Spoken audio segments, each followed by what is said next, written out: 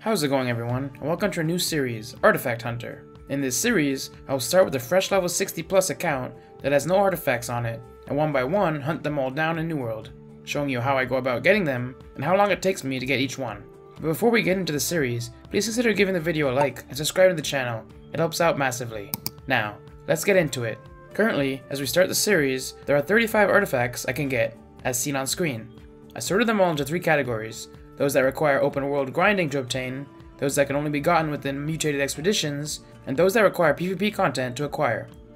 The ones with the green glow around them are really easy to get, and can easily be soloed, whereas the yellow ones are slightly more difficult, as they will most likely require a group and may be time gated, and the red ones are the most difficult ones, as they will require a bunch of luck or long wait times to obtain. I immediately threw all of the PvP ones into the red difficulty, because I'm not the best PvP player, and on this account, I haven't PvP'd yet, so I'll need to get geared up and my PvP track up to level 20 to get started on these.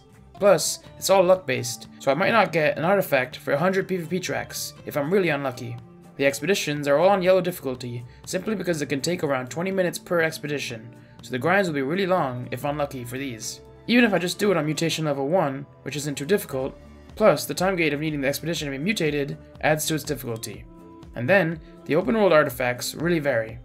There's the really easy ones that I can solo and just sit around AFK grinding out, to the ones that require a group to farm, which will be a bit harder since I am in a low populated fresh start server, and all the way up to the most painful one of the lot, the Scorpion Sting, which if I'm unlucky, can take days to get, simply due to how few kills of the boss you can get in per day.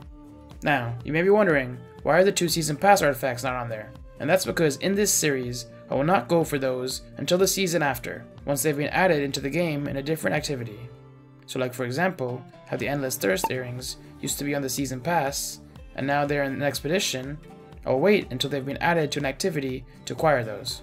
If you're just here to see how I got certain artifacts, feel free to use the timestamps to jump to the one you want to see. But if you're here to come along for the whole journey, let's get started. To get the series going in this episode, I want to knock off a bunch of the easier artifacts, to start making a dent in the list. Plus, I want to start leveling a few PvP tracks up, so I can start working towards the PvP track artifacts as well. So far, this account is still on PvP track level 0, but to begin, I figured I'd go for an easy, solo-friendly grind I could do AFK that would also be a great piece of gear to use on the account for leveling PvP tracks, and that's the Featherweight. Featherweight is a really unique artifact that has no weight to it. This allows users who want to stay in the light equip load to wear a couple of pieces of heavy gear while staying light, which really helps them take less damage. In order to get this piece, I would need to farm out the open world boss, Nermur, over in Fungal Ridge of the Elysian Wilds. He's on the platform all the way at the top of the tree. He's extremely easy to solo, and drops the Tanglevine set, along with Featherweight, which could be pretty useful gear to have as well, since I do take a lot of thrust damage. To make things even easier, when I got to the grind spot, there was already a couple of people here farming him, so I just joined the group and got to grinding. He spawns every 6 minutes, so I put my timer on and kept coming back to finish him off every time he spawned. Luckily enough, I didn't have to wait very long until I got what I came for, as the Featherweight artifact dropped on kill number 6. Shout out to Statched, a fellow grinder, who called it would be kill number 6. That means, after my first 36 minutes of grinding, we had acquired artifact number 1, the Featherweight. We also got a Tanglevine ring during this grind, but unfortunately, it's one of the few pieces of Tanglevine gear that I have no use for. This is where I ran into my first bump in the road, I was still not level 65 yet, and I needed to be so I could equip these cool artifacts I was hunting. So with that in mind, I decided that the next artifact I would hunt for would be the attuned leather pants, as they were the only ones currently locked behind a questline, the Elysian Wilds main story questline, and hopefully by the time I finish these sets of quests, I'll be able to be level 65 and start equipping these artifacts. The attuned leather pants are also a very unique piece, since not only do they give you a plus 40 magnify to your highest attribute, but you also get a plus 10 bonus to all attributes, which can lead to some really cool and unique builds. Although I rather featherweight, I still had to acquire this piece if I was going to gather all of the artifacts, so I got to grinding. I needed to finish the quest, The End of New Eden, which started after finishing One with Nature. Unfortunately, I haven't started any of the quests in this zone yet, so it's time to start grinding. One eternity later. Well, that was a lot longer than I remembered. After roughly two hours of questing, I had finally finished up the quest line, and got on my attuned leather pants, I did do a couple of side quests along the way, just to make sure I was 65 by the time I was done. And sure enough, I just managed to make it to 65 before finishing up the end of New Eden. So now, I had both artifacts and was high enough of a level to use them, so I could finally put on my featherweight jacket. But I wanted to get one more artifact before I called it a day, and after the long grind of questing, I wanted something a bit more AFK and relaxing, so I chose the Ghoul Gloves. The Ghoul Gloves aren't a very popular artifact, despite how cool they look, simply because their special perk is only useful in very specific builds. It allows you to transfer one debuff you have on yourself to an opponent when you hit them, but they have to be below 50% health, and there's a 3 second cooldown, so it's very niche, but for sure great for transmog. Much like Featherweight, these gloves can be farmed from an open world boss that's very easy to solo, and his name is the Overgrown Guardian. You can also get them from Adiana's Chosen Beast, but the Guardian is easier, so I just went after him. Plus, he's located in the New Olympus area of the Elysian Wilds, so I can get one of the perks unlocked on my Featherweight here as well, so two birds with one stone.